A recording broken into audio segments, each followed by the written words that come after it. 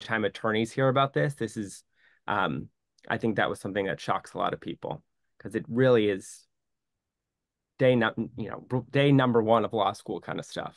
Yeah. Like I remember Emily, I sat down with Emily D. Baker, and Emily said she was like, she goes, I was never in client settlement stuff. I never did plaintiff's law. I never had money coming in. She goes, and there would be times when I was like, oh my gosh, has something happened? She goes, they beat it into you in school. She goes to the point that it's just it's it's surprising, and that yeah, one accusation like that would typically get a lawyer investigated, potentially suspended, maybe disbarred. A single one and yeah, he had more than 200 by the time he was suspended and you know and disbarred. Right. And that it went on for just like you said, Jake, like it started in the 80s and just like this had been going on forever. You're like, how, you know, it makes you wonder, like, you know, and it's really neither here nor there, but like, okay, so if Erika wasn't on Real Housewives of Beverly Hills, if he wasn't on, like, would we be here? Would we have a housewife and hustler? It's still a very interesting story, right? We have documentaries all the time about people that are not in the public eye, but it does make you wonder, which is neither here nor there because we have two and they're both great. But would we be here? Would we have had this? It's the benefit of having a free media, of having of having a you know a free press in this country, is that some of what we do is putting pressure on the systems of power in order to make sure that whether that means that the oversight is actually oversight. But I do think that in some cases, the public being aware of what's going on is and can be the only thing that keeps the system in check. Um, and I think journalism plays a really great role in that, which is why we're very proud that this has come out under a collaboration with two really big journalism companies. To have ABC News and to have the LA Times working together is a great synergy moment. But you also then know that the reporting is based in journalism and that that is a huge, huge important thing, especially when you're looking at something of this level of this systemic kind of potential failure.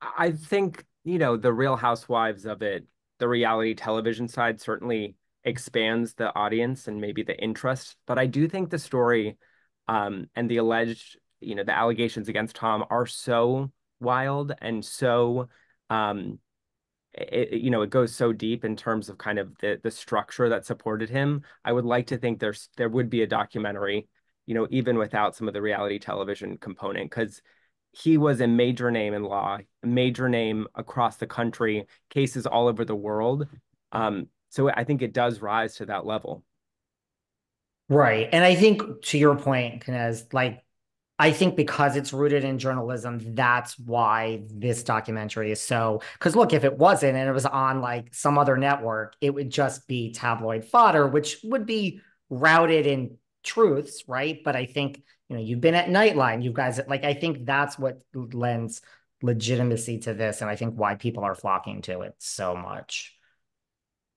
I appreciate it. Does. I mean, like people seem to, yeah, people seem to be genuinely interested I think that's what struck us maybe after the first one, Jake, and you you can probably talk about this too. But after the first one, and I think even more so at the second, like when we released the first one, we knew that people would be interested because they'd shown interest, you know, online about, you know, whether you're looking in the comments on something or whether you're checking social media. We knew that people were interested because obviously Erika was involved. You know, Erika had been had been linked to the story.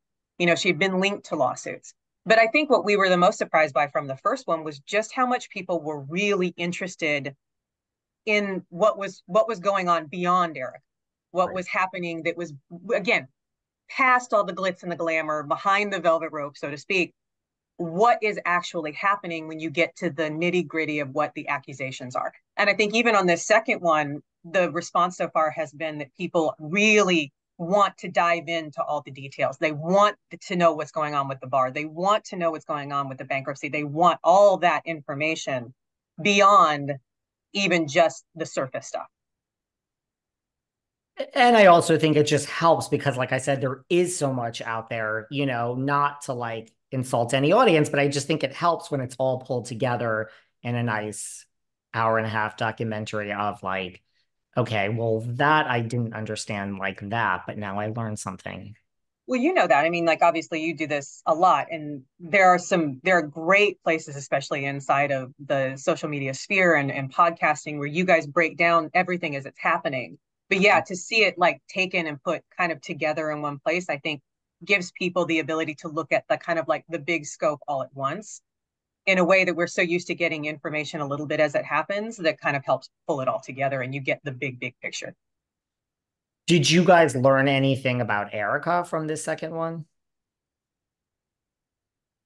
I think the relationship with with Jim and and Evan being, you know, sitting down, Evan Borges sitting down and talking to us about kind of like the behind the scenes behind the scenes because obviously she's on a reality TV show. They do show some of this stuff, but very seldom do you get to see her legal team sit down and talk about stuff that they have not talked about to date. And I think really getting in like how they break down what the last couple years have been like and all the things that they're doing behind the scenes, I think is really fascinating stuff. Yeah, I, I exactly. I think it's the perspective of what the last few years have been like for her through the eyes of people who were with her and close to her. Right. Do you right? Because I mean, they, you know, some of the things they said were like, you're like, okay, I could see that in a different light at this point. Jim talks about the money. He talks about how and who helped her get out of the marriage at the time. Uh, and how they talk about the steps that were taken, kind of the legal fights that they're facing, their approach to everything. Again, I think for people who are interested, it's it's genuinely something you can't see anyplace else. And I think the meeting with the former clients is a side of Erika, maybe that people will find surprising and or refreshing. You know, it's it's not on the reality show. It it yes, there were moments that were tense and uncomfortable, but she was very open and receptive to questions um, you know, it, it, it seemed to me to be sort of a, a side of her we hadn't seen. Did you love feel it it, it's definitely different? You know what I mean? Love it, love her or hate her. Viewers come in with their own thoughts. It's interesting to see how they leave. It's you know fascinating to see what they take away from that meeting in a different way than maybe what we see when we watch it, or even how the victims felt who were in the room. So it's very uh, it's interesting to see how people come in and come out of that. Mm-hmm. Have you seen a lot of because right, like I mean, and are you shocked at like the Bravo fandom? I mean, they have their favorite housewives. I mean, there are a certain group of people that could watch this over and over, listen to the two of you here today, and they either hate erika or love her. And there's nothing any of us are going to say that will ever change that. But then there's a lot of other people that watch and observe and do come out of it differently. Are you shocked at like the Bravo fandom, the Bravo web pages, like like you said, reading comments, and you shocked at all of this? I, am not shocked. I mean, I think this is an audience that really watches. It's a smart audience. It's an audience that does its homework.